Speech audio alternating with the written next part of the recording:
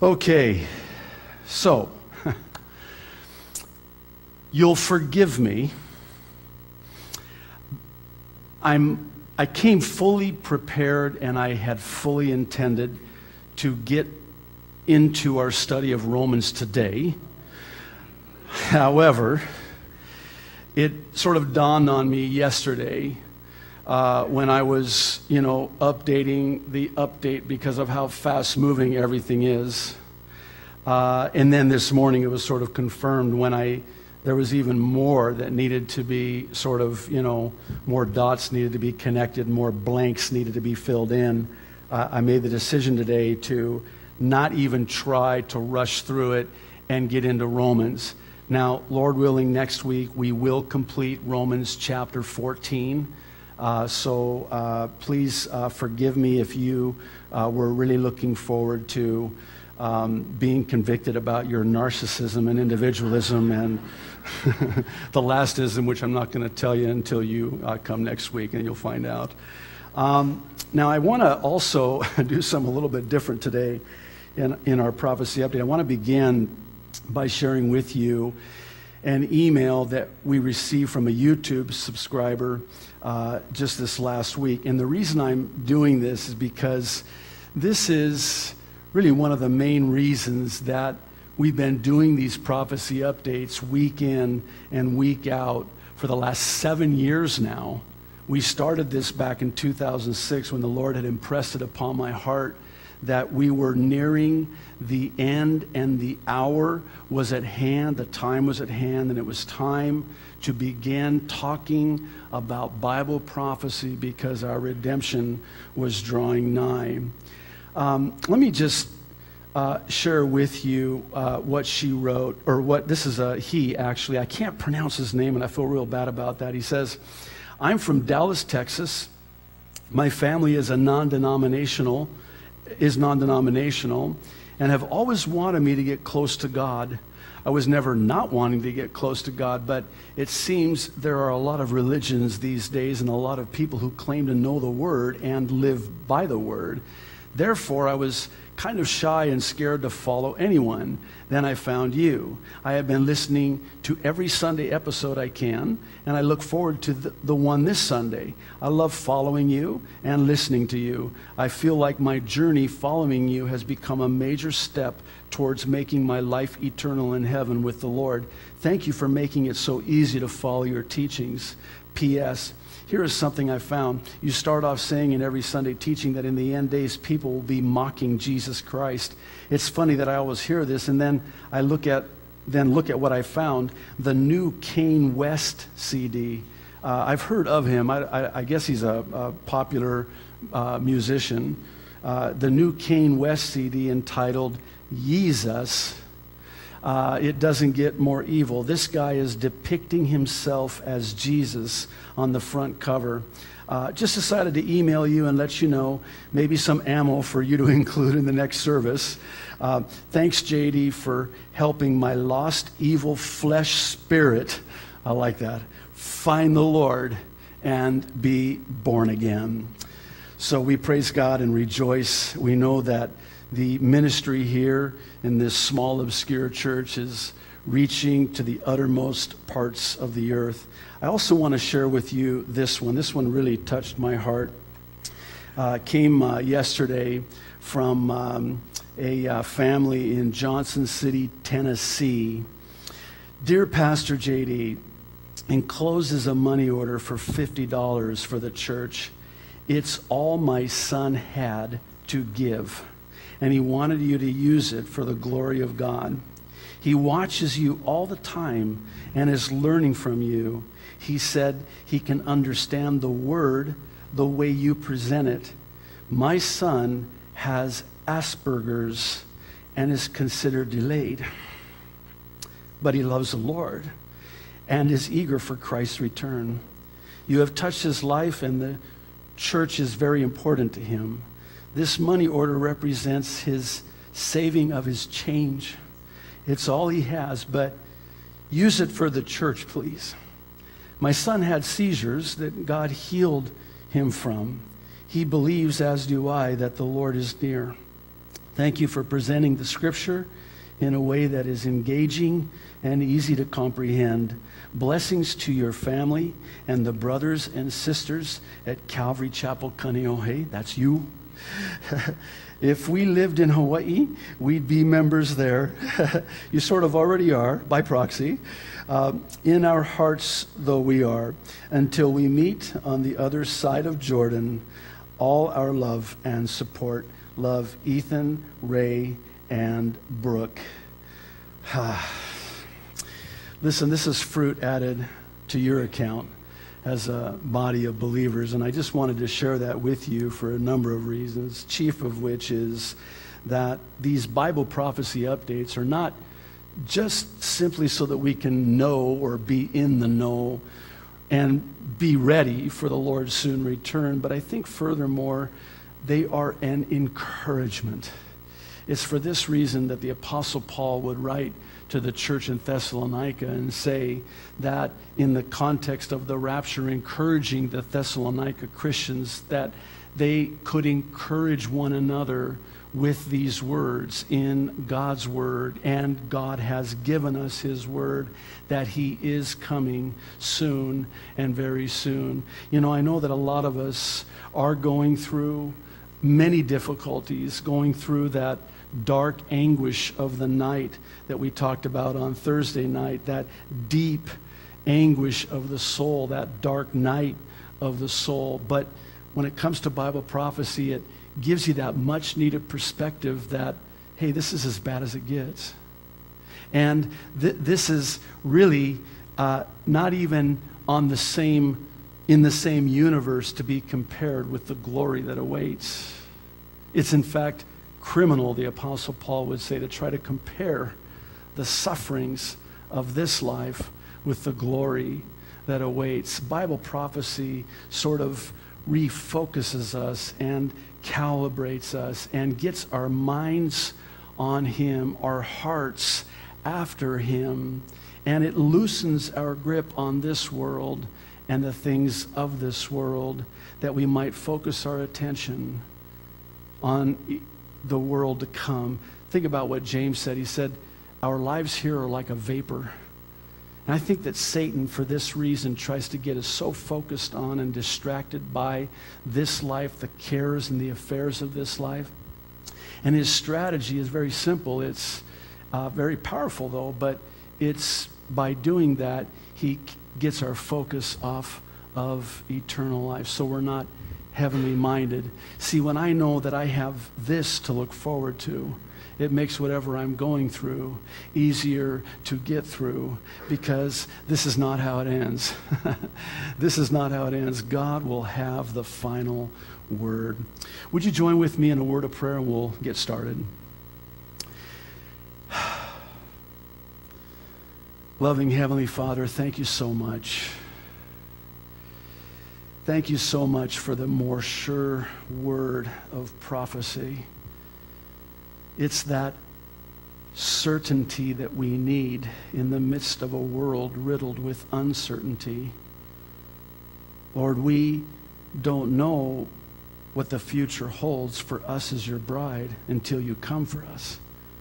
But we do know that you hold our future for us as your bride before you come for us. Lord, I pray that our Bible prophecy studies will be such that they become a great encouragement for many who just need to be encouraged by the nearness of your return for us to take us out of this sick and evil and dying and Christ rejecting world. Lord, come quickly. Maranatha. In Jesus' name, amen. Okay. For today, we'll look at our ninth reason. We started this a number of weeks ago. We're looking at a number of reasons as to why it is that we believe the rapture of the church of Jesus Christ may, in fact, be closer than any of us even realize. Uh, I'm hoping you'll bear with me as I uh, sort of update a few of the first eight. Uh, we began with 2 Peter chapter 3. Uh, this is the prophecy concerning the increase of scoffers and mockers of Christ's return and those who believe in it and would even dare to talk about it. The second reason is the absence, sadly, of the United States of America from the pages of Bible prophecy, which many believe, present company included, comes vis a vis the collapse, or as Joel, Joel Rosenberg in one of his books titled The Implosion of the United States of America. In other words, the absence of the United States of America from Bible prophecy could reasonably be explained by the complete and total collapse and implosion of this once greatest nation on planet Earth. And would you agree that we are even now in real time beginning to see this come to pass? I mean, personally, if I could just be so candid, I'm of the opinion that we as a nation have crossed the line. I, I believe that we're now past the point of no return, and here's why. I don't know how we recover as a nation amidst the enormity of the scandals that were seemingly revealed every single day. And it's not just these scandals in and of themselves, it's all of these scandals collectively close in proximity one to the other. They all point to a very uh, clear scenario of what it's going to be like in the seven year tribulation. I was listening to a, uh, an expert on the NSA uh, you know, data gathering. Uh, through the you know phones and emails and so forth. Well, it's come to light that they're building this colossal uh, 1 million square foot facility in Utah, and it's going to be totally devoted to gathering and collecting and saving data. It's an NSA data collection, uh, you know, um, uh, uh, building or buildings. It's just enormous. And so one commentator suggested that um, in and of itself, it's not so much uh, something that he's necessarily concerned with, but he said this most interestingly. He said, What really concerns me is that in the wrong hands, we could overnight become a policed state. That's where it's heading. And when he said that, oh my goodness, I just, I just thought, you know not what you say you have no idea what you just said because what you just said is what the Bible has said all along is that there's going to come a man, this man of perdition, the Antichrist, in place of Christ. And when he comes on the scene, he's going to control the entire world. Perfect. Everything is being set up. You know, one of the most interesting prophecies concerning the Antichrist is that he doesn't set it all up all the wiring is being, you know, wired in the conduit, you'll pardon the pun, and everything is being ready. So all he has to do when he's unveiled, which he can't be unveiled until we're removed, but when he's unveiled, all he does is flip on the switch to a one world government and a one world religion and a one world economy. And that's the common denominator in everything that is happening supremely in this country. Now, please don't misunderstand me. While I believe that we have crossed the line as a nation, and it's too late in the sense that we've passed the point of no return, I am not saying that it's too late for the non believing souls in America. I believe that people are starting to wake up. And we're starting to see little rumblings of it. People are starting to realize wait a minute wait a minute, something's not right here. This, this sounds like something I remember in, in Sunday school when I was a kid, or when I was, you know, drugged to church. Maybe literally, I was given drugs to go to church, and I would sit there and listen to this pastor talk about the end times. And And this is starting to sound a lot like that. And so I think people are starting to wake up in this country. So I don't think it's too late for that. I just think it's too late for the non repentant soul of America, not the non believing souls in America. I, I, hope, I believe, and love hopes all things. I hope that God is just going to do a work and move in the hearts of people in this country, that there would be an awakening, and that they would come to Christ before it's too late. That's my prayer. That's my hope. And I think you share that as well. Our third reason, very disturbing, it's this blind acceptance of Islam as a peace loving religion, chiefly in this nation under the banner of political correctness. And now we're seeing it sort of spread, which is the sole goal of Islam. Islam meaning submission. It's to get the whole world into submission to the worship of Allah and His Prophet Muhammad. And we're seeing it now sweeping across the world.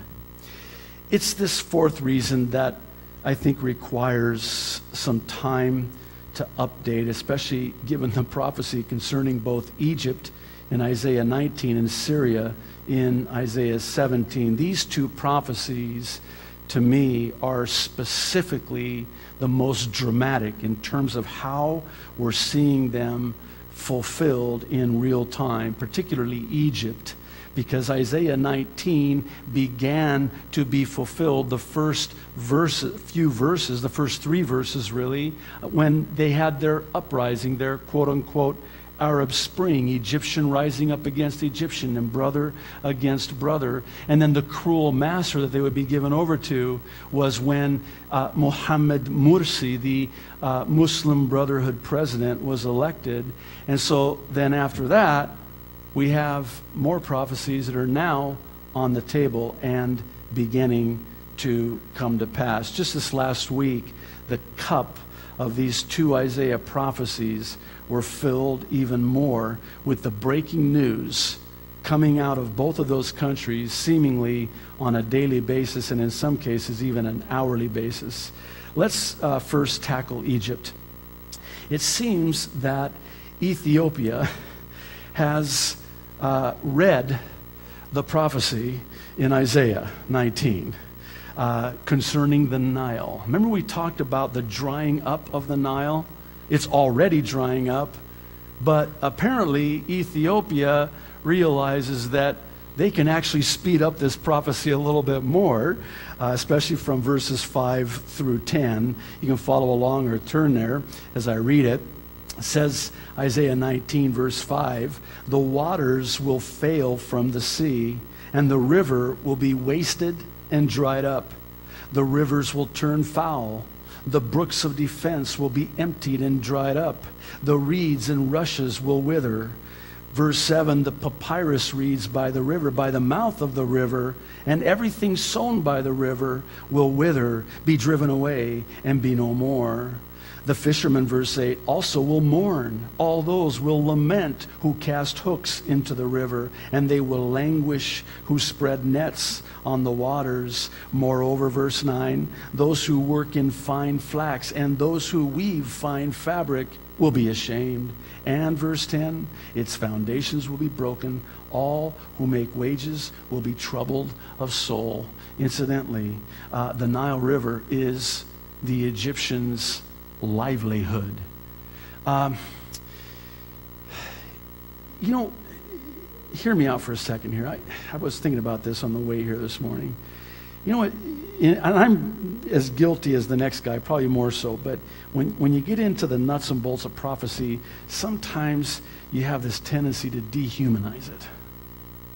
And what I, what I mean by that is these are real people.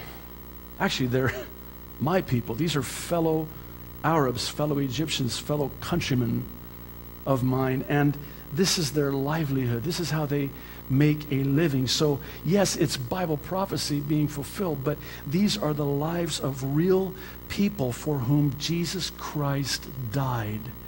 Please pray. I know that at the end of Isaiah 19, it ends good for the Egyptians because they come to a saving knowledge of Jesus Christ, the God of Israel, the Savior of the world. That's at the end, but it's going to get a whole lot worse before it gets better.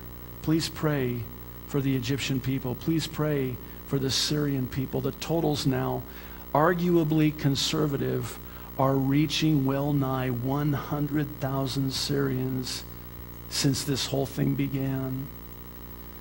Just to put it into perspective, that would be the equivalent approximately of the population of both Kaneohe and Kailua. You've wiped out virtually the entire windward side of Oahu. That's how many people have died in this Syria uprising and this war. Uh, I want to share with you this Washington Post article. It really, I think, captured the intensity of really what's going on there. The headline read Egypt frets, fumes over Ethiopia's Nile plan. Let me just read a, a portion of what they published in this article out of Giza, which is where my aunt lives, actually, uh, next to the pyramids there. Uh, here's what they uh, had to say. Since long before the pyramids towered above the rich soil of this riverside town, Egyptians have given thanks to the muddy waters of the Nile, plants, animals, humans, said Ibrahim Abdul Aziz, a 45 year old farmer. We all come from this river. Well, not exactly, but uh, there in the Ethiopian highlands, one of the world's largest dams is taking shape. For Ethiopia, the dam promises abundant energy and an escape from a seemingly permanent spot in the lowest rungs of the world's human development index. But for Egypt, the consequences could be dire for a country facing daily domestic crises in the aftermath of its 2011 revolution. The dam is a foreign threat that Egypt can ill afford, and that may be the point. Analysts say Ethiopia is seizing on Egypt's distraction and relative fragility to plunge ahead with plans that have long been on the drawing board but have always been thwarted by Egyptian resistance. If that weren't bad enough for Egypt, it was about to get even worse when, during a meeting, and I think this took place in Egypt on Thursday, it was a meeting to discuss ways in Egypt to stop Ethiopia from building this dam. Uh, the chairman of the Islamic Labor Party, Magdi Ahmed Hussein, was exposed by a hot mic that he knew was on. He just didn't know that it was being broadcast live. it turns out, uh, as he thought the meeting was secret, it was actually, perhaps providentially, being broadcast on live TV via MEMRI TV, a Middle East television network. Now, what follows is some of what he had to say thinking he was speaking only to those in this secret meeting, most of whom were suggesting that Ethiopia's Nile River Dam project was, in fact, a secret American and Israeli plot to undermine Egypt. Now, listen to what he had to say. Quote, I'm very fond of battles with the enemies, of course, with America and Israel. Excuse me? Didn't uh, John Kerry and the administration just give them something like, I don't know, a billion dollars or a jillion dollars or something?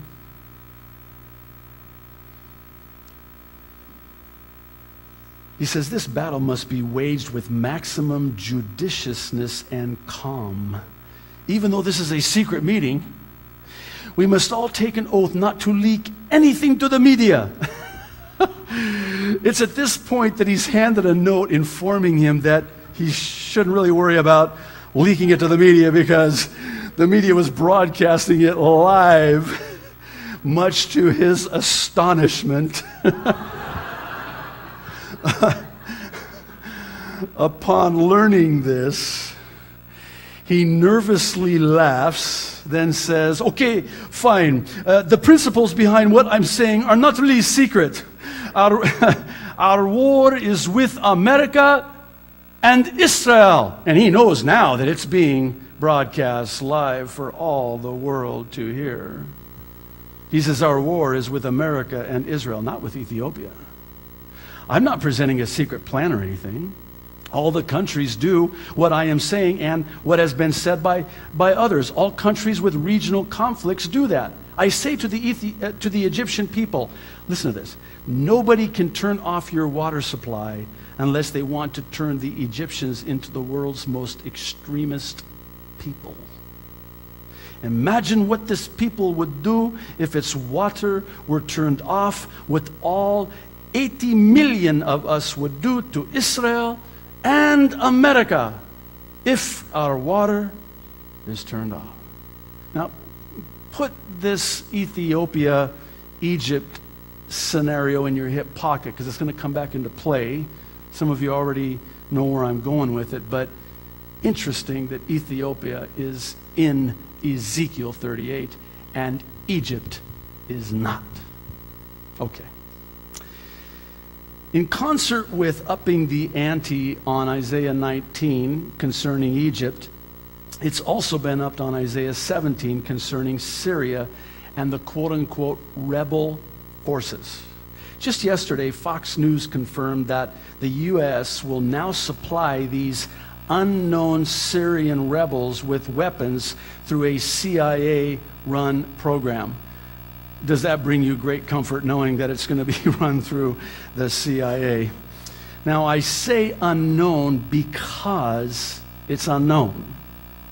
It's unknown how that these rebels, and they're not going to tell us this, but I believe these rebels are, in all likelihood, the Muslim Brotherhood attempting, as Al Qaeda is calling for, attempting to set up a caliphate, an Islamic caliphate, in order to wage war on Israel. If you look at a map, Syria is key geographically and significant prophetically when it comes to the entire world attacking Israel as God's chosen people. We'll come back to that here shortly. Um, Updating those prophecies brings us to the fifth reason that we believe the rapture is closer than any of us realize. It's found in 2 Timothy chapter 3 verses 1 through 5. It's the prophecy about the perilous times of moral decay within the church.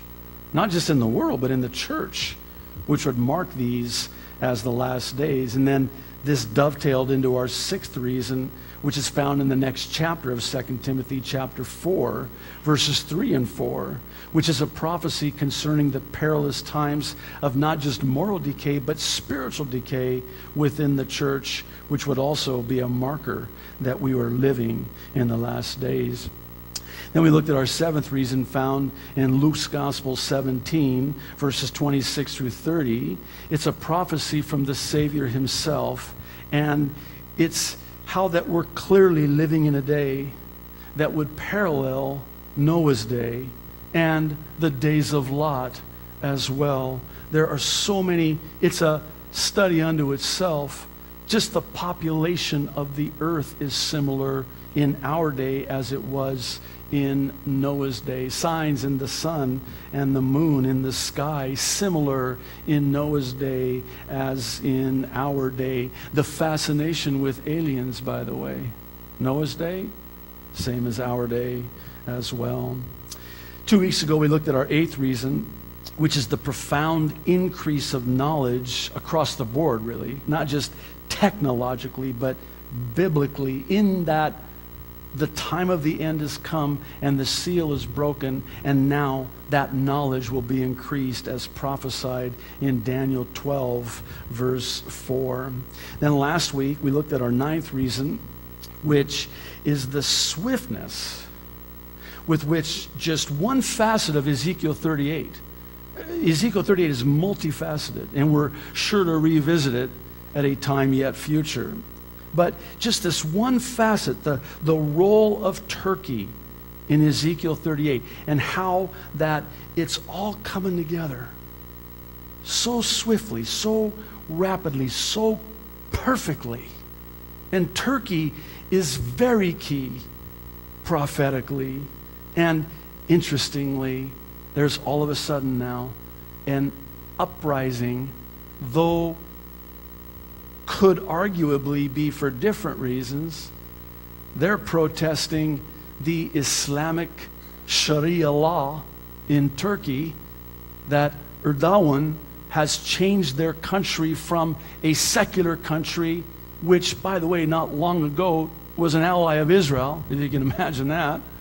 And so it's this hard line Islamic Sharia law, and they're seeing their country now submitting to Islam. And that's why they're protesting. Interesting. Uh, is it just me, or do the protests in Turkey's Taksim Square, as pictured here, bear an eerie resemblance to the prior protests in Egypt's Tahrir Square? I mean, this is a movement afoot. You know, it's interesting in Revelation 20, I can't remember off the top of my head the verse, but it says that Satan knoweth he hath but a short time. Actually, it might be 12. Forgive me. It's either Revelation 12 or Revelation 20. I should probably get that right before second service. Um, but it says, Satan knoweth he hath but a short time. It's almost like Satan is really getting busy. He knows he's running short on time. And if he's going to do what we are told he's going to do, he better get with it. And he is. He's on it. He's on it. And he's in it.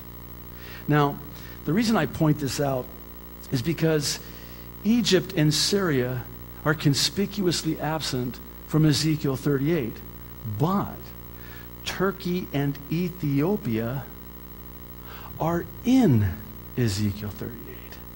Now, here's what I'm thinking it would seem to indicate that Isaiah 17, concerning the destruction becoming a ruinous heap of Damascus, and Isaiah 19, the complete devastation and decimation of Egypt, will likely be fulfilled prior to the prophecy in Ezekiel 38, which I still believe, I'm not dogmatic about it, but I believe that the Ezekiel 38 prophecy will take place after the rapture and at the beginning of the seven year tribulation. And the reason I believe that is because it says that they, there are so many details in this multifaceted prophecy that Israel dwells safely. She's brought down her walls with the bars and the gates, the ones that were erected in the first intifada in the year 2000.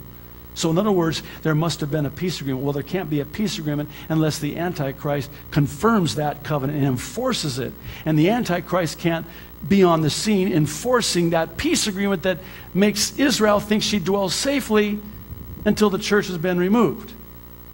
So, in other words, if we're seeing things already coming to pass, beginning to be fulfilled, that will not ultimately be fulfilled until the tribulation be, being fulfilled now. How close is the rapture? Listen, my week in and week out, standing up here before this wonderful church, talking about why it is that we believe the rapture is closer than any of us might realize. It's not arbitrary. This is why. This is why. I mean, God doesn't want us ignorant concerning Bible prophecy. This is why He told us what's going to happen before it happens, so when it happens, we would believe. That's John 14, 29. Okay, well, let's, that was the introduction. So uh, now you know why we're not going into Romans today. Here's our 10th reason it's the lateness of the hour on God's prophetic clock, Israel, since being reborn as a nation in one day, by one vote, by the way, in the UN, May 14th, 1948. I'm going to take it a step further and suggest that this particular prophecy is actually the litmus test by which we can know that we are the last generation who will be alive to see the coming of the Son of Man. I'll uh, expound on that in a moment, but first I want us to look at the first prophecy, really the main prophecy concerning the rebirth of the nation of Israel. It's in the Old Testament book of Ezekiel, who records how God will bring to life the dead and dry bones and return Israel back to their homeland. Let me just read it quickly. It's verses 11 through 14 of interesting Ezekiel chapter 37. Now, I know this is going to be deeply profound, but stay with me. What comes after 37? Ezekiel 38. I told you that was going to be deeply profound, but in other words, the prophecy concerning them returning to the land, Ezekiel 37, comes prior to the prophecy about them being attacked once they return to the land in the next chapter. Uh, okay, I think you got it. Verse 11 Then he said to me, Son of man, these bones are the whole house of Israel. They say, Our bones are dried up, and our hope is gone. We are cut off. Therefore, prophesy and say to them, This is what the sovereign Lord says, O my people. I am going to open your graves and bring you up from them. I will bring you back to the land of Israel. Then you, my people, verse 13, will know that I am the Lord when I open your graves and bring you up from them. I will put my spirit in you, and you will live and I will settle you in your own land. Then you will know that I, the Lord, have spoken, and I have done it, declares the Lord. Ah, I love it. I love Ezekiel 37 and 38 too. I'm of the belief that Jesus is sort of echoing the Ezekiel prophecy when, in a parable, he teaches that the final generation that sees the leaves come back to the fig tree would be the same generation, just as the same generation that saw life come back to the dead bones. It's in Mark's Gospel, the 13th chapter, beginning in verse 28. I'll read. Now, learn that I love to hear the sound of your Bible pages just uh, I also like to hear the sounds of your iPads uh, going to that too. I love that sound too. Actually, I love that more, but that's just me. Mark 13, beginning in verse 28. Now learn this lesson from the fig tree. As soon as its twigs get tender and its leaves come out, you know that summer is near. Even so, when you see these things happening, you know that it is near, right at the door. I tell you the truth, verse 30. Listen this generation will certainly not pass away until all these things have happened. Heaven and earth will pass away, but my words will never pass away. No one knows about the day or hour. Is that a familiar metaphor? No one knows about that day or hour, not even the angels in heaven, nor the Son, but only the Father. Be on guard, verse 33. Be alert. You do not know when that time will come. You can know that that time is near by virtue of the leaves returning to the tree. By the way, the fig uh, is the, the fig tree is the national symbol of Israel, like the bald eagle is the national symbol of the United States of America. So just as life will come to those dead bones, so too, and the leaves coming back to that dead tree, so too will the Jew come back to their land and be reborn as a nation. Now, this begs the question that has sort of baffled many a Bible prophecy teacher, and perhaps by God's design, but the question is okay, so the generation that's alive to see the rebirth of the nation of Israel will be the generation that sees the coming of the Son of Man? How many years are in a generation? Because I want to start doing the math. how many of, of us, you know, let's be honest, have done the math, tried to figure it out? Well, we can't know the day or the hour. We can know the year. Stop that. Just don't do that. it's close. It's close. now, some believe it's 40 years in a generation, others say 70. There's even a camp that says there's 100 years in a generation. And then, in addition to that, there's the question of the, or when the number actually started counting, when the clock started ticking, when the number of years in a generation actually started. Now, some say the clock started ticking on May 14th, 1948, when Prime Minister David Ben Gurion raised the Israeli flag, proclaiming Israel's sovereignty as a nation. Uh, others say the clock started ticking in June of 1967 when Israel, in the miraculous Six Day War, recaptured Jerusalem, their eternal capital. Now, whether it started in May of 48 or June of 67, we can still know that we're close by virtue of subsequent prophecies that are close in proximity to these other prophecies. Psalm 83 is one such prophecy foretelling how once back in the land, like Ezekiel 38, Israel's enemies will declare she has no right to exist. She's occupying the territory. And in so doing, they will seek to wipe her off the map.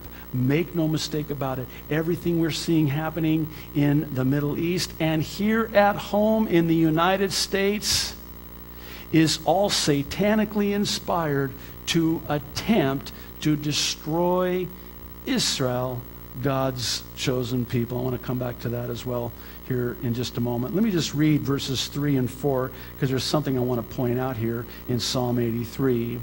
With cunning, the psalmist writes, verse 3, they conspire against your people, your people, God. They plot against those you cherish. Come, they say, let us destroy them as a nation, not a state. The psalmist doesn't prophesy, let us destroy them as a state. No, a when God said to Abraham, I'm going to make you a great state, you know, like California or Texas, actually, I'll make you a great state. No, I'm going to make you a great nation. Nation. That the name of Israel be remembered no more.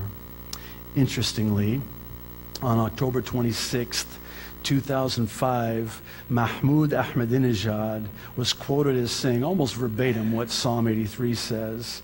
As the Imam said, Israel must be wiped off the map. You know what's really interesting is that yesterday in Iran, or actually it was on Friday in Iran, they had their presidential uh, elections. Bye bye Mahmoud Ahmadinejad. Uh, see ya, wouldn't want to be ya. The results came yesterday that one Hassan Rouhani would succeed Ahmadinejad as the president of Iran. But don't get too excited about the notion of this demon possessed Ahmadinejad fading into the backdrop of obscurity.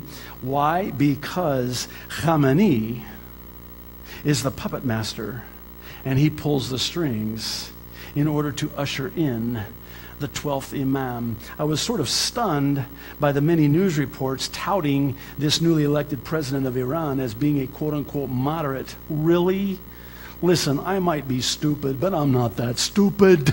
Listen, it doesn't matter moderate or not. It does not matter. It's the Khamenei who is commissioned, he believes and called to usher in their Muslim Messiah, who will, according to the writings of the Hadith, Islamists' holy book, the Hadith, that this man, this Imam, this Messiah will rule and reign where? In Jerusalem. For how long? Oh, seven years. Seven years in Jerusalem. He's a puppet. This is not a game changer at all.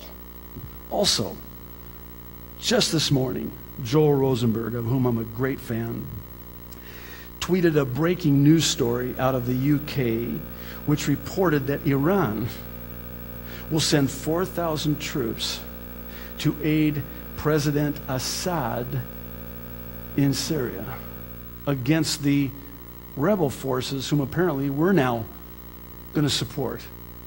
Now, why is that significant? Because, oh my goodness, is the time almost done?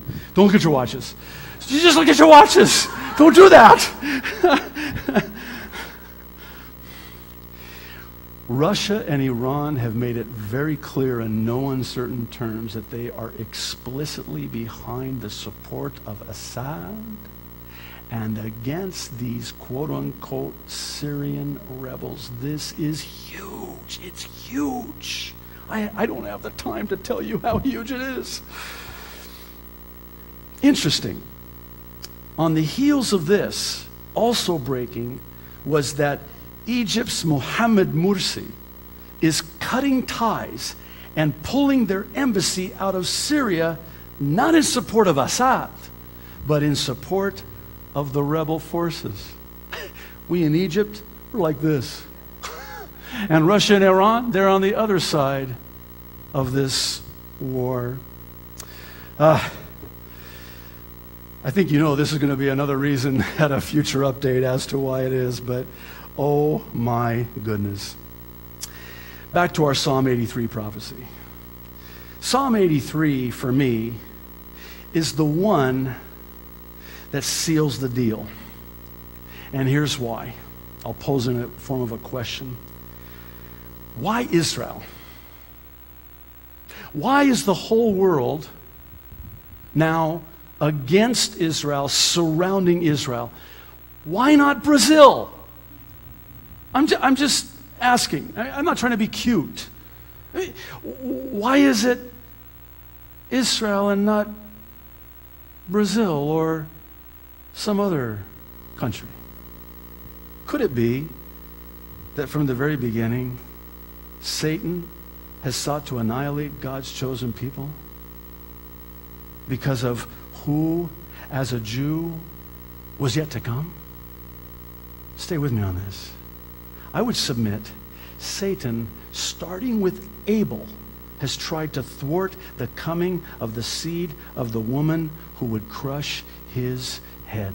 This is in Genesis 3:15. It's also known as the proto-evangelicum. It's a fancy uh, Bible seminary word for uh, the gospel in advance. Listen, and I, God says, will put enmity between you, Lucifer, and the woman, and between your offspring and hers. He, speaking of the Savior, Jesus, the Messiah, will crush your head and you will strike his heel. Uh, incidentally, uh, this goes on to talk about the seed of the woman in other translations will render it as such. Women don't have seeds, they have eggs. The man has the seed that fertilizes the egg. This is the virgin birth being foretold and prophesied. Now, see, Satan is not omniscient, he's not all knowing.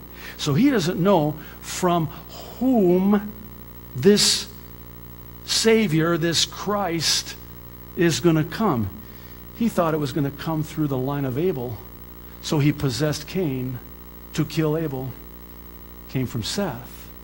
So then you fast forward the clock, as it were, and he tried to annihilate and exterminate and eliminate the Jewish people, God's chosen people, the Jew, Israel. Why? Because if he could have succeeded, he'll never succeed, but if he could have succeeded, he could have thwarted the first coming.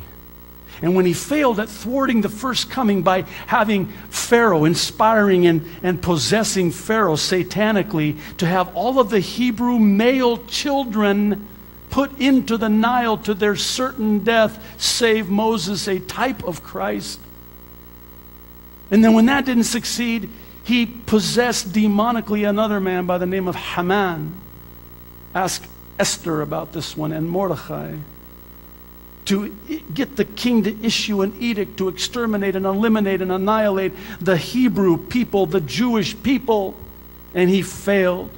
Fast forward to the New Testament, he demonically possessed Herod to kill all the Jewish boys so as to eliminate them completely and, and terminate them completely. Fast forward to the last century, Hitler You notice how they all start with H? Haman, Herod, Hitler. Just saying. I just throw that in.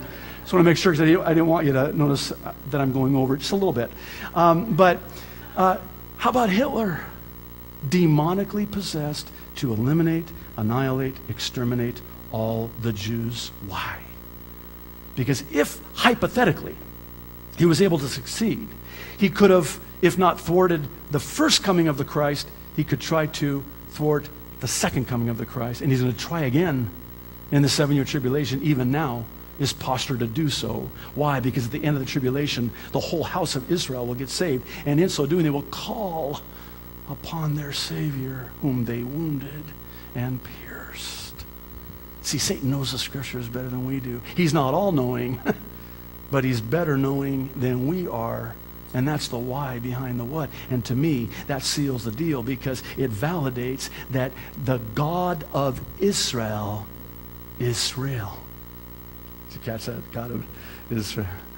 Never mind. Maybe second service will uh, be more amenable to that one. By the way, try as he may, Satan and all his demon possessed men, like Hitler prior, they'll never succeed in exterminating Israel as a nation. Listen to Jeremiah 31, verses 35 and 36. This is what the Lord says He who appoints the sun to shine by day, who decrees the moon and stars to shine by night, who stirs up the sea so that its waves roar, the Lord Almighty is his name. Only if these decrees vanish from my sight, declares the Lord, will the descendants of Israel ever cease to be a nation before me. In other words, before Israel will ever cease to be a nation, the sun will have to cease to shine, the moon will have to cease to be, and the waves, those Hawaiian 10 foot waves, will cease to roar. That, and they're never going to cease. So too will Israel never cease to be a nation. Nation, not a state before me. nation. Are we okay with that? All right, good. I can move on now. God's word through the prophet Jeremiah will in no way be a deterrent to all the enemies of Israel who at this very moment stand at the ready to destroy her. In addition to Psalm 83, and I'll move very quickly, please bear with me, there are also those close in proximity to Israel, both geographically and genetically, the surrounding people who will attack Israel and we're told will also, I hope that's not a predator drone, will all, all attack Israel, besieging Judah. This is Zechariah 12, verses 1 through 3. This is the word of the Lord concerning Israel, the Lord who stretches out the heavens, who lays the foundation of the earth, and who forms the spirit of man within him, declares, I am going to make Jerusalem, not Tokyo, not New York, not Paris. I'm going to make Jerusalem a cup that sends all the surrounding peoples reeling. Judah will be besieged, as well as Jerusalem, on that day when all the nations of the earth are gathered against her, and they are even now today gathered against her. I will make Jerusalem an immovable rock for all the nations. All who try to move it will injure themselves. So don't even think about trying to move the borders of Jerusalem to facilitate your satanic two state solution. Israel is not a state. Israel is a nation, and there's no such thing as a Palestinian state. Okay, I'm going to close now, so hallelujah. Praise the Lord. I want to share with you a portion of a most interesting message from a Facebook friend by the name of Melissa. She writes, Hi, Pastor JD. I've been listening to each of your messages for quite some time now. I look forward to hearing each and every one of them. That being said, I have a question. As I was trying to connect some dots today, I began again with reading Psalm 83. Herein lies my question Why does this have to be a war? What am I missing? Am I seeing this as something that is, I'm seeing this as something that is occurring right now as we speak? When I read this, I don't necessarily see a war, but rather a coming against Israel by all those surrounding her. Is it possible that this is being fulfilled right now and is a precursor to Ezekiel 38 and 39. And if this is so, then we may in fact be closer to the rapture than any of us realize. okay, I stole that from you. Steal away, sister. Also, concerning Isaiah 17 and 19, I'm wondering where it states that this is also this also has to be a war. All in all, Syria, Damascus, may not need to have a war at all to destruct. In fact, they are self destructing right now as we speak. Furthermore, do you see anything in Isaiah that may indicate the rapture? I may be way off now, but I was thinking that Isaiah 17, verses 4 through 6, may be a picture of the rapture. I'm running out of room in this message. I feel your pain, sister. So I won't quote it, but I feel like it could be speaking of the rapture when it speaks of the harvesting the corn and maybe the gleaning grapes left in verse 6 are the 144,000 who will be left to feed those who will turn to Christ in the tribulation. You know why I share this with you? Because this tells me that I don't have to do as much research anymore. I can just read your. you guys are so well taught. You're so on it. I love this. This is great. Absolutely, I believe that it would not necessarily mean there has to be a war. I had one, uh, this is a while back, suggest that the Isaiah 17 prophecy concerning Damascus becoming a ruinous heap would not come vis a vis Israel, rather, it would come vis a vis an earthquake. That would do it. That would do it. So, you know, in other words, you know, let's uh, maybe just, you know, kind of take another look at this thing and and uh, now, if that's the case, and it very well could be, that there's not necessarily this full on, all out war, rather, these prophecies are fulfilled just even now because they're even now being fulfilled. Well, that means it's even closer. That means it's even closer. Maybe there isn't going to be a war. Maybe it's just a matter of time before these prophecies are fulfilled. Okay, lastly, I'm simply going to say this is yet one more reason, and even more so, a major reason among the others as to why it is that I, with all my heart, and I think you with me, believe the rapture is closer than any of us may even realize. If you don't know Jesus Christ as your Savior, I implore you to call upon him this day, confessing with your mouth, believing in your heart.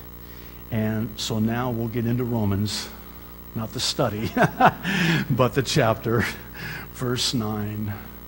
If you confess with your mouth Jesus is Lord and believe in your heart that God raised him from the dead, you will be saved. All who call upon the name of the Lord will be saved. If you don't know Jesus Christ today, you need to know Jesus Christ today because tomorrow is not promised. Would you please stand? Father, thank you. Thank you for the encouragement for us as believers who have been walking with you for many years, some of us. Thank you that Bible prophecy has the effect of causing us to purify ourselves and be encouraged and be ready for your soon return. And Lord, thank you too that Bible prophecy was given so that people would see how that you told us in your word what would happen in the Middle East and even here at home in the United States long before it would begin to happen so that when it did happen, or at least begin to happen, we would realize that it's the truth, the whole truth. Lord, thank you that you are the truth and that the truth you sets us free. So that whom the Son has set free is free indeed. Thank you so much, Jesus. And Maranatha, Jesus. Jesus, will you come quickly? It's in your name that we ask and pray.